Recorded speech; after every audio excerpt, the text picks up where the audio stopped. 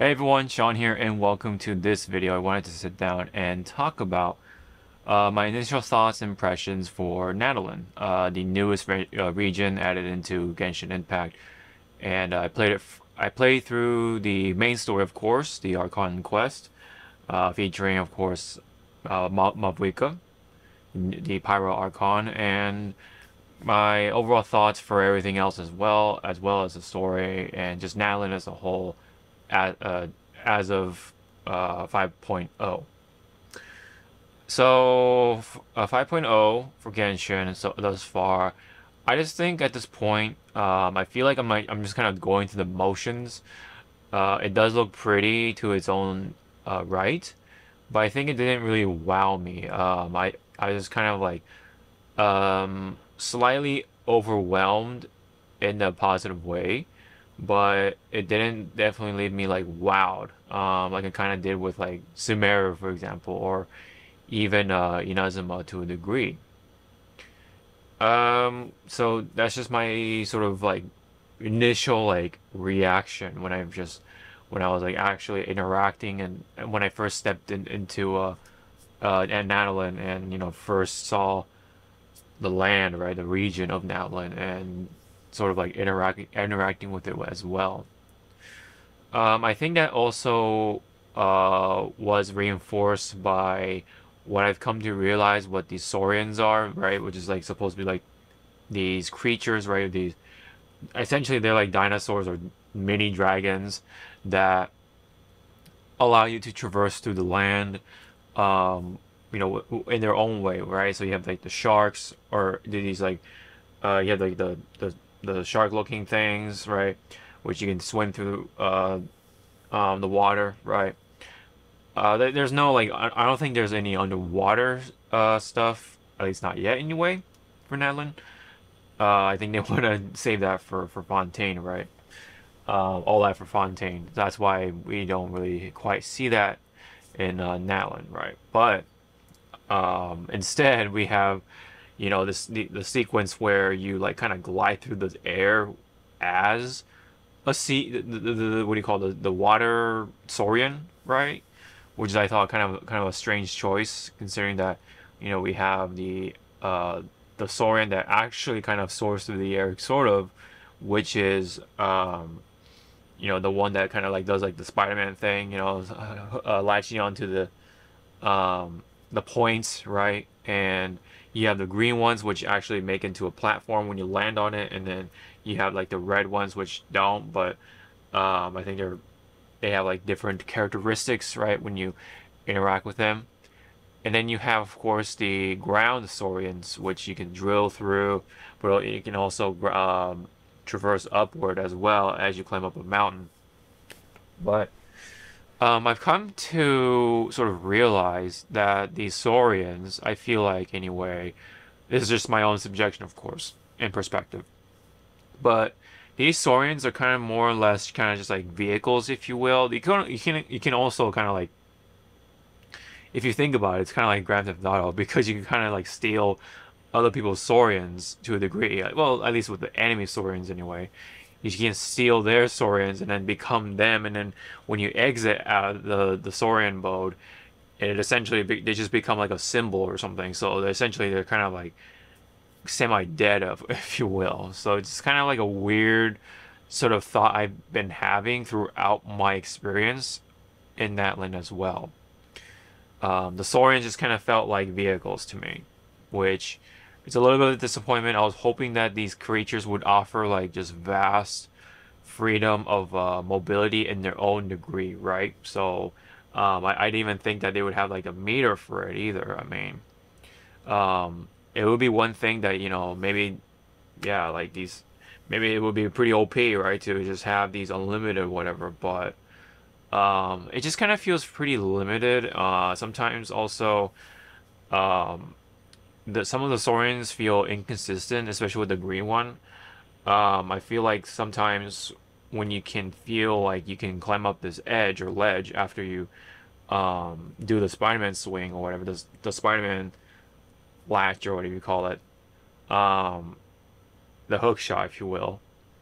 After you do your hook shot, you you would think that you can climb up this little edge right here, but sometimes they just don't. And then sometimes, um, like I, I get that they're not supposed to be able to run up the wall, but it really feels like they can they can run up these walls if it were just to be um, a lore thing, right? If you if you were to just see these creatures in like an in the Genshin anime, they would able to absolutely run up those walls easily, but they just purposefully limit these creatures to give the ground saurians. I, you know, forgive me for forgetting the names for each of the things, but um, the ground ones are the ones who can climb up the wall. So if, if it were the case of the green ones doing the same thing as well, then it kind of is a little, uh, very much a little point to it, right? But even then, I feel like the the inconsistencies do do kind of like pop up with at least one of the saurians anyway. And then yeah, and then um, the like I said, the water one is kind of like whatever. Um, most of the time for me, I'm actually using someone like um, uh, Mualani because I, I, I just happened to get her uh, through the gacha, um, which I did made a mistake of pulling on that banner because I just wanted Kachina. I wanted maybe like an extra Kachina or something, like a like a C1 Kachina or something, but the I, I forgot I was on guaranteed pity, and it actually set off um, after two 10 pulls, right? So 20 pulls unfortunately for me, because I actually wanted to save up for um, Kinich, who is you know really cool. He he's the one who with the Spider-Man swinging, which I feel would be like pretty handy in terms of exploration. Whereas someone like Mavwik, no, excuse me, uh, Mualani, yeah, she's nice to have for cruising just forward on the ground like that, but um, and of course on the water. But I kind of want also the mobility, the air mobility as well. So um, overall, I think uh, someone like Kinich kind of fits the glove best for me. And of course, his design is really cool. I like the headband stuff. I love. I, I really like um, characters with uh, headbands, especially anime characters and also video game characters. Um, I, I, think it just gives them that look that I just really like in character designs. But um, less of that. Uh, I just happened to pull for Mualani, so I've been using her a lot more but it also uh, not only you know sucks up the their own gauge, but it sucks up the orange gauge below, which is the same gauge you use for um, Saurians as well if you uh, go on for a little too long. And that also kind of like gives it more of that vehicle feel, right? It's like fuel, it's gasoline or whatever you want to call it, unleaded fuel, whatever that also really emphasizes the whole vehicle thing that I have with these uh, Saurians, right? It, it kind of they, they all kind of give off that vehicular motif, if you will. It's just there for trans transport, uh, which I don't think is a bad thing, but I just thought differently uh, with the Saurians. I was I was hoping for something else different, and I guess they had to put some limits somewhere, and then I guess that's really how you do that. Um, I wish there were more ways to earn back um, the fuel. You know, I was, I, I thought that it was it was kind of like um, like stamina, but you have to collect um, like the orange fire things or whatever the orange flame things, so to uh, fill up fill up the orange gauge back up, uh, which can be a little tedious at times. You can you can be stuck not being able to do so, but uh, I guess there are certain areas where there are plenty of them, but there could be a situation where you're kind of like um, dry on that fuel for a good hot minute. Uh, so the Saurians and the whole mobility thing thus far is just okay. Um, it's it's kind of like um, half a step forward from all the other mobility options and features that Genshin offered in the past, including Sumeru's, of course, with uh, Inazuma, so on and so forth. Uh, I, I don't even remember if Liyue offered anything like that when it came to climbing up, because because a lot of like stuff in Liyue was very vertical, right? Whereas Inazuma, yes, you can kind of fly and stuff like that uh, with the sigils or whatever you call those, those insignias in the air. And then, of course, with Sumeru, of course, that was very clear. I can definitely vividly remember the hook shot stuff, which is pretty cool. and uh, Inazuma was kind of like a half step down from that, right? Being the region before. Anywho, though, um, Natlan is supposed to be um, step forward, but overall, I kind of felt like a half step forward, if you will, maybe even a half step back uh, in some ways, maybe for some people. But I heard like mixed things from the people, you know, kind of um, uh, stepping into the chat whenever I streamed. That my my sort of initial experience with Natlan, and one of them said it was just kind of like very whelming or whatever. It was just um, disappointing, probably at worst, and uh, I can kind of uh, uh, start to see that the more I, I let um, I let it sit. So, like I said, though, um, I feel like I am going through the motion. It's like, okay, it's an update. It's gonna do this, and that's it. I'm not really like wowed by it uh, too much. I was hoping to be, but um, there were just kind of like those thoughts running in my head, like, yeah, you know, the mobility could have been better, could have been more fun um, to go through. The challenges are okay. Um, they do deploy the Saurians right as part of those challenges which is okay. I mean, the the water saurian one, it kind of just feels like, um, what do you call those? Like those. Um, it's not. It's not even like Panzer Dragoon or anything. Or just you're just like stuck on this rail essentially, and you're kind of just going through. You can jump, and it's just kind of whatever to me. Um, it's just for you to collect stuff, you know. So I'm just kind of doing it just for the sake of it. Same with um, the other two, right? You're just kind of like going through these obstacle courses with the Saurians' abilities and such like that. And maybe there is an audience for that, and I think maybe they're, they're having fun with it. That's fine with me. But for me, I feel a little whelmed by it more than anything. Um, I was hoping something a little different, and hopefully, maybe um, this is just 5.0. They have plenty of time to improve upon it. Uh, hopefully, so like they have been doing so much as of late now a day a days so it's pretty strange to see them like tr- really trying to do the radiance thing right with the gacha and all that stuff and speaking of the gacha, i also had this thought about um, what hoyo could possibly do with these characters at this point how to like sell them to to uh, to the players.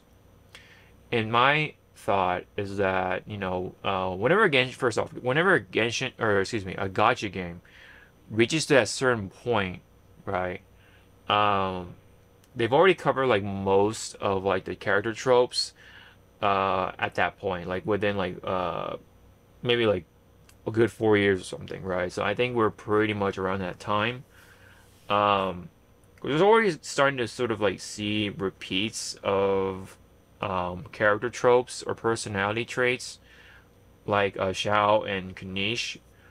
Though to be fair, Kanish is a little more socially active. He shows he looks out for people like Mualani and Kachina and stuff, so that's pretty cool.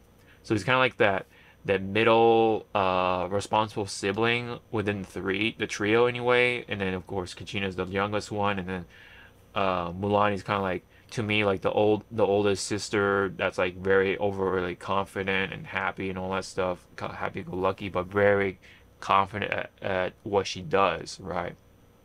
And also kind of a little loud and proud um, at that.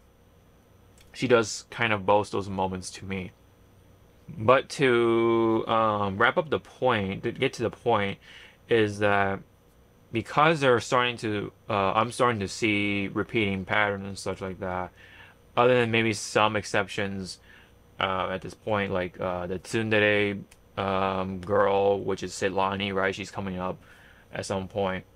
But you know you already have like that cool chick like um um uh, I forget her, I'm forgetting her name already, but it's like uh, I think it's Chasca. She's the one. She has like the musketeer hat we're already seeing like similar sort of uh, characters like um, Clorinde, right? Uh, obviously they have their differences, but you can kind of like already see start start to see repeats in in, in a way. So, um, so they'll have to come up with something a little more different, right? And I think a way to um, sell these characters this time around for Natlan, I think they're trying to kind of play it really safe to make sure they sell these characters. Is that most of these uh, five star Natlan characters are going to have some sort of, uh, and, and, I guess some of some uh, you can say the same for like the Natlan four star characters, but definitely on the five star characters in Natlan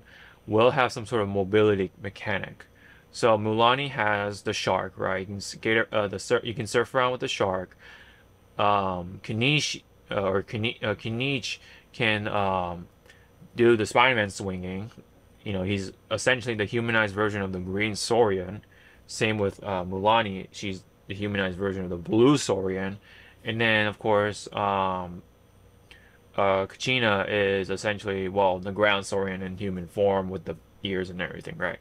Um, that's essentially, you know, those those characters are essentially going to be that. They're, they're going to have some sort of mobility mechanic. And that's even more, I feel like that's even more reinforced um, if anyone has seen the leaks of future characters. They're already showing off their sort of uh, mobility mechanics as well. So that's the one spoiler I'll give is that yeah, like those the, the future characters are going to have some sort of mobility mechanic as well. So because um, it seems like they're starting to repeat some character tropes and such and traits, they gotta add on these mobility mechanics to well make sure that um, you have some sort of incentive to pull these pull for these characters. So I think that's really what they're going to do. That's the, that's the sort of game plan in a way for uh, Natlan, with the exception, I would say, someone like um, Capitano, if he is going to be actually playable.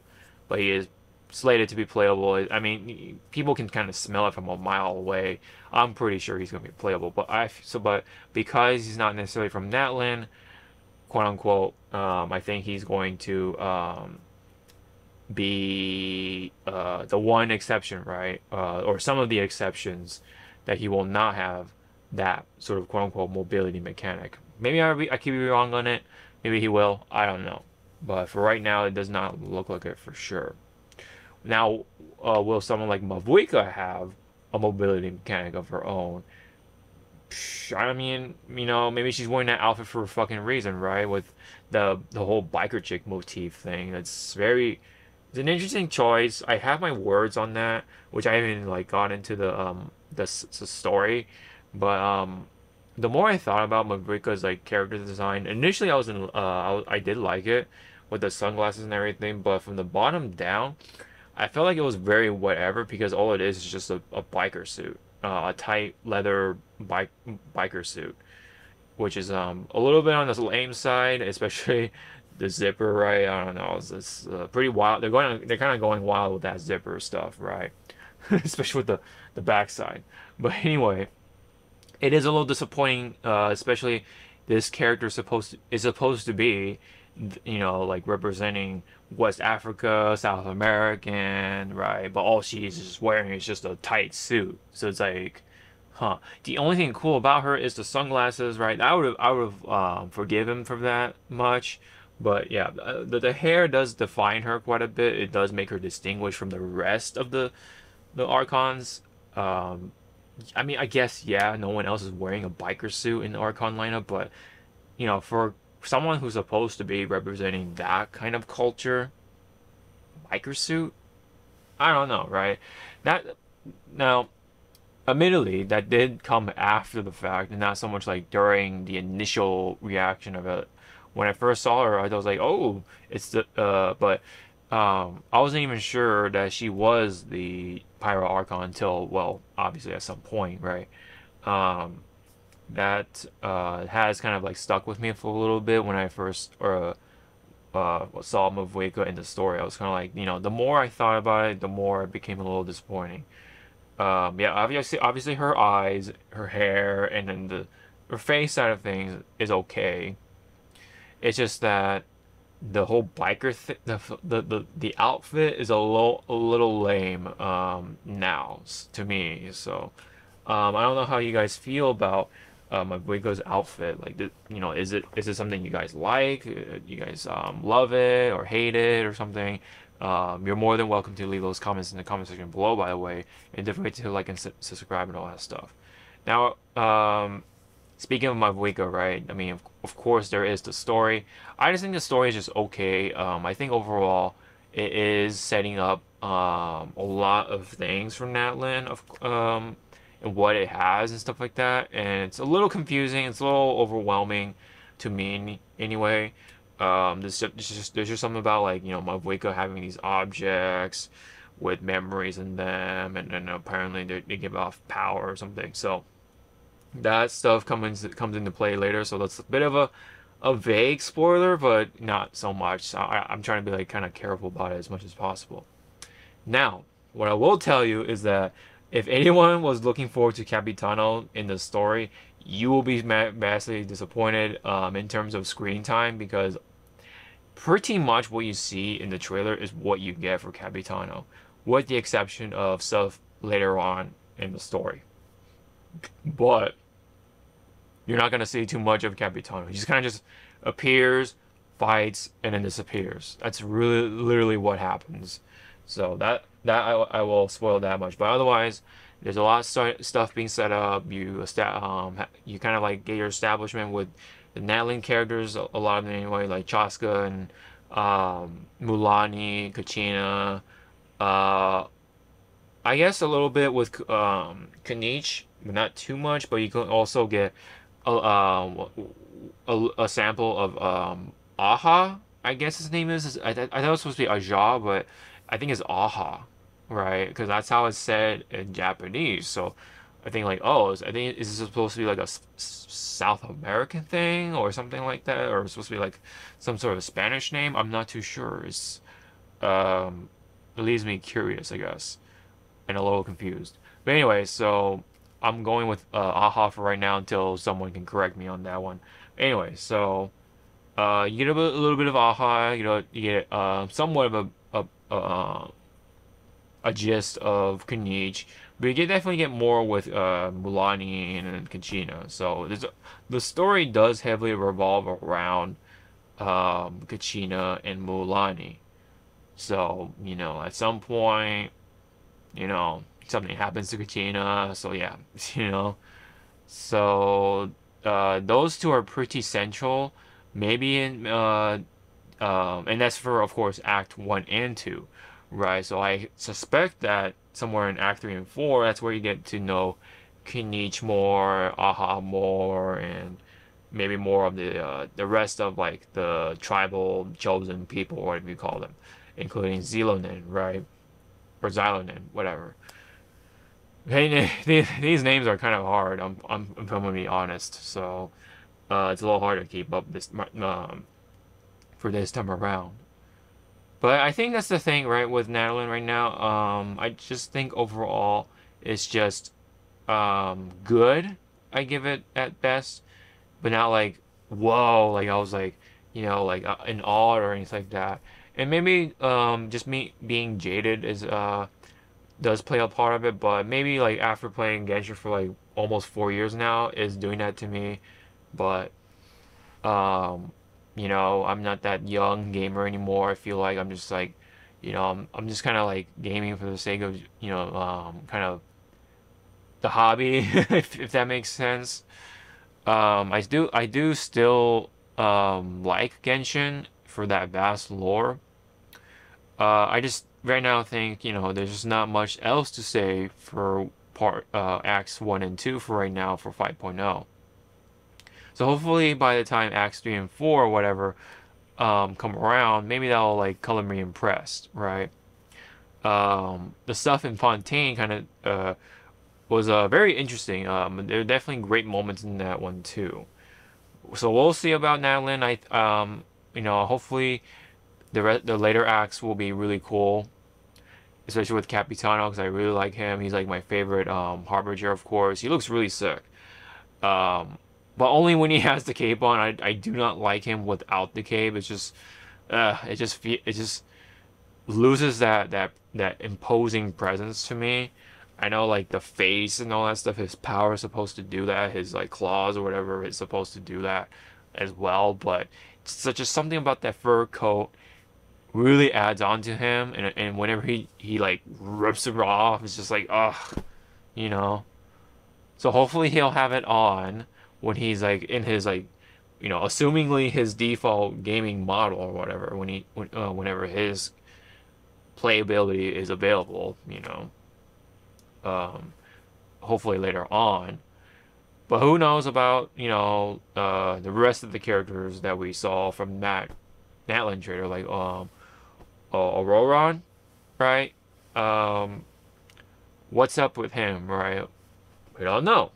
We'll have to wait and see. So obviously there's still things to discover. I mean, I, I'm trying to like get all the waypoints and stuff like that. I'm trying to just, you know, kind of like finding treasure as I go along. I'm not going crazy with the completionist stuff. Um, I'm just kind of like just going along with it. I find something, oh, I'll just pick it up or something, right? The Oculus and stuff like that is neat though because you get to now add more stamina to your bar. So that's pretty neat um, you know, about time they add more stamina. I mean, good, thank goodness. But yeah, uh, hopefully they'll update some things. I haven't tried everything. Um, I haven't seen the Radiance thing from the Gacha just yet. I haven't tried. Um, I don't think I've tried the what do you call the uh, the artifacts uh, main stat. Um, or what do you call like the change mechanic thing. Uh, I haven't tried that or anything like that. So, um, you know, all the little other new little trinkets I haven't tried, but I've mainly tried, of course, you know, the Natlan region. Um, I will give it, give it this though. I love the wildlife for the creatures. They're really cool this time around. They um, do feel like there is a variety there, including the giant rhino giraffe thing. Um, that's really cool. I do like it. It kind of gives off a little bit of like that Jurassic Park feel, so I will give it that for sure. I like the wildlife. Um, I think this is the by far, the, by far the best wildlife sort of um, roster of all the regions. I, I, think for sure Natlan has the best wildlife for sure. So I think um, uh, does get that uh, sort of point. I like the colors. It's nice and bright. Even at night, it seems like it's bright or something. I don't know, just something about the vibes. Um, I do get those like Crash Bandicoot vibes for some reason. The music and everything is cool. Um, the people are pretty neat, right? The cultures and everything. Um, the dancing and like the sort of athleticism, right? That they give off. You know, it's very more like I don't know. It's trying to be like Aztec-y hip kind of thing almost, um, with the designs and everything. That's forgot what I forgot about too. Is like the designs around Natlan is right. If you look at like the uh, promotion for um, Mualani and uh, Knight and Kachina, they're the, the logos and everything is like different. So they're really trying to like change change things up a bit, but um, but I only like gave off like just good um vibes or okay vibes for what I said about Natlan, right? So the mechanics is just okay. It kind of just there for me, and you know, it's um a bit of a shallow lake, if you will. That's colorful looking on the outside, but um maybe maybe that'll change once I you know play well uh, uh some more and like um uh and of course let of course Natlan update more stuff like that. I do like the updates that came with it though. I like the um uh how they're doing it with the what do you call it, the long term encounter points, kind of. Um I think they did something with that. I forget what it was um specifically, but I do like the fact that now you can like look for the character materials like when you click on them. That's pretty helpful. Um it'll even tell you like, oh yeah, those materials are gone but they're that's but this but that's what they usually are, and they, they have like the dotted lines and everything. That's actually pretty pretty sick. Um, things like that I do like as well. I like those little updates or changes, right, and improvements that are like quality of life. Um, those are pretty welcomed, I feel, and I uh, would like to see more of that. Um, but man, they gotta do what some do, like the the skins, right? They gotta do more skins. Um, I think they're. I think this is also another conspiracy of mine with the character des- designs. I think they're really saving up all of that after Teyvat. I think they're gonna save all of that once you like quote unquote like rescue your sibling or whatever. Um, I think that's that's when they're gonna go ham on the character costumes because like by that point you're gonna want to start repeating the characters, but you're gonna want to like do something a little new with them. So that's why like with like games like you know uh, Fate Grand Order, they have all those summer versions and like uh, the holiday versions, right? Um, this version, right? This this saber, um, you know, saber alter, saber alter made, and like all those versions, right? I think they're saving all of that for the after the Teyvat chapter ends or whatever. That's my little conspiracy. But um, there's still other improvements to be had, but I'm not gonna say here because I've been on uh, pretty long at this point. So, 30 minute video ish. Thank you very much. This has been my impressions for Natlan. I'll keep playing through it, of course. You know, it's it's pretty much what it is. You're just kind of going through the motions, right? Um, and maybe um, you know things will just blow up uh, in a good way um, with further updates. But um, I cannot wait for Kinich.